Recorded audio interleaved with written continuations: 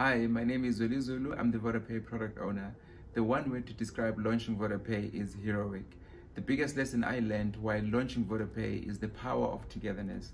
All odds were against us. The strict lockdown, remotely working with Alipay team in China, but we managed to pull together and delivered Africa's super app that is trusted and used by millions of our customers daily. Hashtag together.